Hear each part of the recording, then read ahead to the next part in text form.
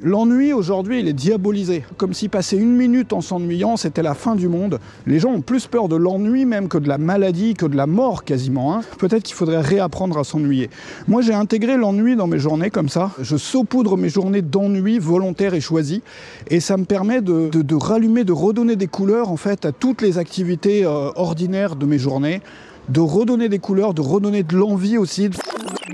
Alors ce matin il fait frais, euh, on est toujours à Sibiu en Roumanie, il a neigé pendant la nuit. Et euh, on va passer dans les, vieilles rues euh, de Sibiu aujourd'hui, on va, se balader par là. Et on va parler de procrastination et de comment démarrer sa journée le matin. Et je voudrais te montrer un truc aujourd'hui qui est à l'opposé exact de tout ce qu'on enseigne en général sur les routines matinales, sur la procrastination, sur comment se mettre au boulot le matin et tout. Alors en général, en fait, le conseil qu'on donne euh, quand on propose des routines matinales ou comment organiser ses journées, etc., c'est joli ici. C'est-à-dire, euh, je sais pas, faire du sport, euh, faire des, tu vois, sauter sur place, parfois des exercices de respiration rapide, euh, des incantations, bouger son corps, enfin ce genre de choses. C'est-à-dire des choses ultra énergétiques, énergisantes en fait, qui vont te donner de l'énergie, qui vont te mettre dans l'humeur nécessaire pour pouvoir travailler, pour pouvoir créer. Et moi, ça c'est quelque chose que j'ai euh, que j'ai fait pendant plusieurs années. Et, euh, et, ça a jamais, jamais, jamais vraiment fonctionné pour moi en fait. Alors moi ce que j'ai découvert en fait c'est que l'inverse fonctionne et fonctionne beaucoup mieux. Pourquoi? Parce que le matin, je sais pas si c'est comme ça pour toi. Imagine le matin, tu as un truc vraiment important à faire, il faut que tu enregistres une formation, il faut que tu euh, t'écrives, je sais pas, euh, plusieurs articles ou mailing pour ta mailing list. Il faut que tu fasses quelque chose qui demande énormément de concentration, énormément d'énergie. Simplement, toi, tu viens de te lever ce matin, voilà, t'es pas bien réveillé, tout ça, tu viens de finir ton café, et tu vas tourner en boucle, en fait, dans ta tête, le travail en question. C'est-à-dire, tu vas t'imaginer en train de te mettre au travail, et tu vas t'imaginer comme c'est horrible de faire cette tâche-là, et comme tu aimerais pouvoir faire quelque chose d'autre que ça. Et euh, donc, du coup, tu vas amplifier dans ta tête tu, vas t'en faire une montagne dans ta tête parce que t'es pas dans l'humeur adéquate et que t'as pas envie de le faire. Donc la première option, l'option qu'on qu conseille traditionnellement, c'est de se mettre dans l'humeur en bougeant son corps, en se bougeant, en se motivant, etc. Et la deuxième option, celle que euh, moi j'utilise, qui est l'inverse de ça, elle consiste au contraire à supprimer les distractions au maximum pendant une période donnée. Parce que le problème de se mettre au travail, c'est souvent qu'on a toutes sortes de choses qu'on pourrait faire qui sont beaucoup plus attrayantes que le fait de travailler. C'est-à-dire toutes ces stimulations possibles, euh, je sais pas, aller regarder des trucs sur les réseaux sociaux, aller ouvrir un bouquin, aller regarder des vidéos, aller se balader dehors, tout ça est ultra attrayant en fait et nous apportera beaucoup plus de plaisir immédiat si on s'y adonne que si on se met à créer une formation, à écrire un chapitre d'un bouquin, etc. Et moi j'ai remarqué que le fait de ne rien faire du tout pendant une demi-heure, voire pendant trois quarts d'heure. Moi, ce que je fais le matin, c'est trois quarts d'heure, 45 minutes. Tu ne fais absolument rien. Tu ne te laisses pas la chance d'aller sur les réseaux sociaux. Tu ne te laisses pas la chance d'utiliser Internet. Tu ne te laisses pas la chance d'ouvrir un bouquin. Tu ne te laisses la chance de faire absolument rien. Donc, en fait, tu commences ta journée le matin par, je sais pas, 10 minutes, 20 minutes de méditation. Et si toi, tu n'arrives pas à méditer ou tu n'as jamais médité ou la méditation, c'est pas ton truc, tu fais 10 minutes de silence absolu sans rien faire. C'est-à-dire, essaye vraiment chez toi demain matin, ou la prochaine fois que tu as une tâche vraiment, euh, tu vois, que tu n'as pas envie de faire le matin, tu n'as pas l'énergie pour ça et tout. Tu te dis, pendant 10 minutes, je m'assois sur cette chaise et je ne fais rien. Je ne peux pas sortir mon téléphone, je ne peux pas euh, écrire sur un bout de papier, je ne peux pas sortir un bouquin, je peux rien faire pendant 10 minutes. Voilà.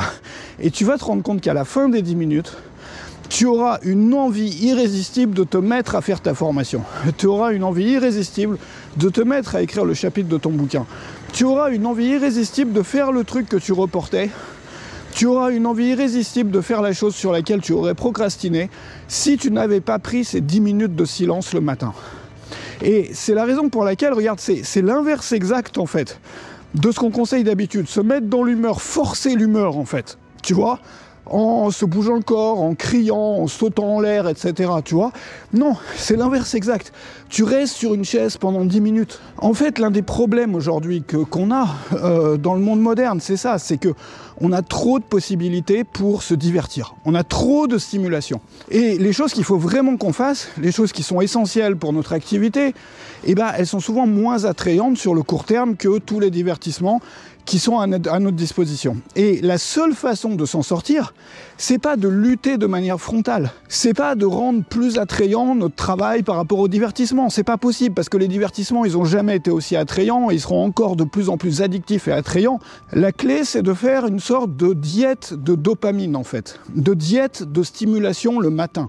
De commencer par ça et on peut même aller beaucoup plus loin en faisant tout un programme qui consiste à éviter certains types de stimulation du matin au réveil jusqu'à une certaine heure de la journée. Alors on est maintenant sur la place principale de Sibiu, toujours en Roumanie, et on est toujours le matin, il y a un peu plus de monde, et il fait toujours froid. Alors l'idée c'est quoi? L'idée, on l'a vu euh, dans le, au début de cette vidéo, c'est que euh, le, gros problème, c'est que quand on a la possibilité d'avoir des stimulations qui nous apportent plus de plaisir immédiat que la chose qu'on doit vraiment faire, notre travail, le truc euh, voilà, sur lequel il faut qu'on bosse aujourd'hui, bah, c'est extrêmement difficile. Notre tâche du jour ou ce qu'on doit faire aujourd'hui vient en concurrence avec toutes ces stimulations possibles, tous ces divertissements possibles. Et euh, donc du coup, on est obligé d'utiliser la force, la motivation, ce qui n'est jamais une solution sur le long terme. Donc ce qu'on fait au contraire, c'est que déjà, premièrement, on commence sa journée avec 10 minutes de blanc, 10 minutes de Et ça, ça va nous donner l'envie irrésistible de se mettre au travail. Je te garantis, tu peux essayer, mais, mais même sur les trucs les plus euh, rébarbatifs, par exemple, je sais pas, la tâche vraiment que tu n'as aucune envie de faire, que tu reportes de jour en jour depuis peut-être 3 mois, 6 mois, tu n'arrives pas à t'y mettre. Essaye un matin. Tu peux même, si c'est vraiment une tâche euh, que tu n'as pas envie de faire, augmenter la durée à 30 minutes. C'est-à-dire, tu te dis, je vais m'asseoir sur une chaise pendant 30 minutes, je fais absolument rien.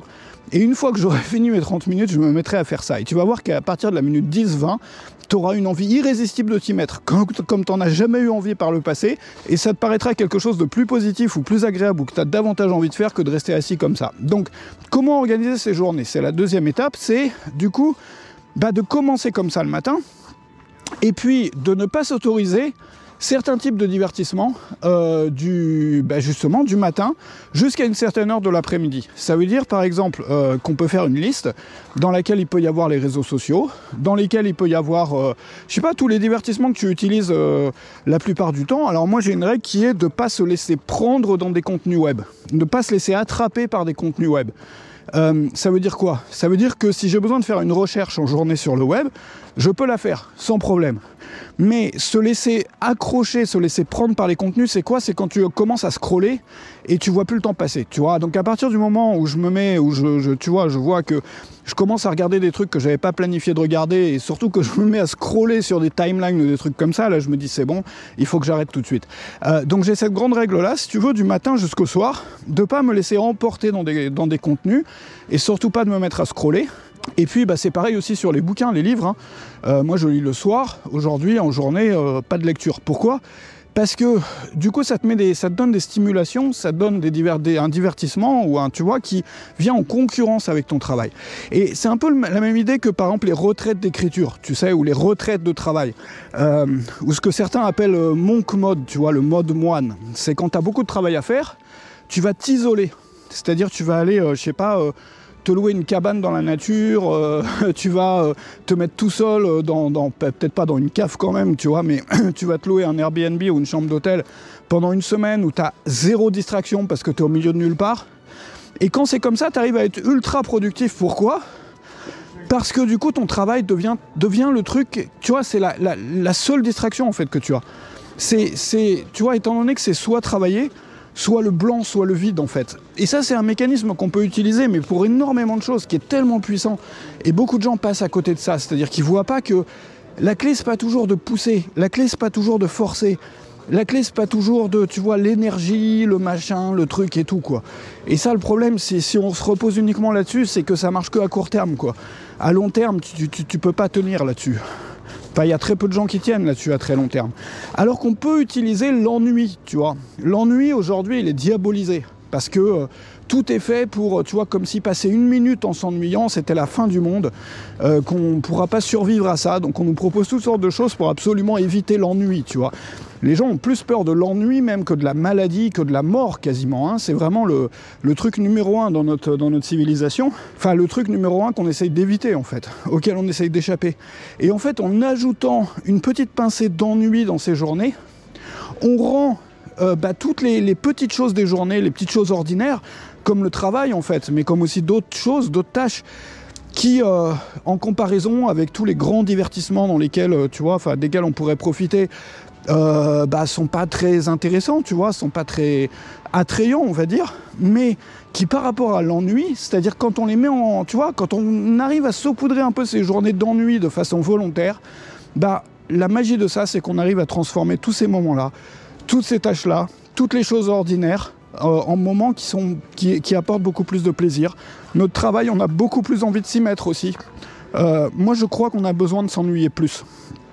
On s'est jamais aussi moins ennuyé en fait que dans notre civilisation moderne, euh, parce que tout est fait pour nous permettre de de jamais passer même une minute en s'ennuyant. Peut-être qu'il faudrait réapprendre à s'ennuyer. Moi, j'ai intégré l'ennui dans mes journées comme ça. Euh, je saupoudre mes journées d'ennui volontaires et choisis, et ça me permet de, bah de, rallumer, de redonner des couleurs en fait à toutes les activités euh, ordinaires de mes journées, de redonner des couleurs, de redonner de l'envie aussi, de la, voilà, de la, de la vibrance, de l'énergie euh, pour mon travail. Et euh, c'est quelque chose que je te conseille d'essayer de, parce que ça peut changer la vie. Donc commence déjà le matin par 10 minutes comme ça. 10 minutes d'ennui tous les matins. Voilà, 10, 10 minutes d'ennui. Et euh, tu pourras transformer ça après si tu démarres une pratique de méditation euh, par ta méditation du matin. Tu vois, tu commences par 10 minutes d'ennui. Voilà, tu vois comment ça t'aide pour ton travail. Après, tu peux augmenter le nombre de minutes, puis tu peux apprendre des techniques de méditation et tout.